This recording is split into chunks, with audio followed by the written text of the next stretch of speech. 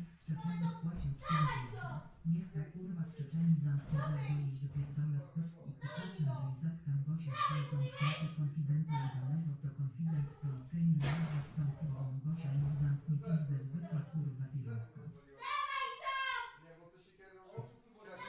Dobra, widzowie trzeba na policję zadzwonić, ja muszę...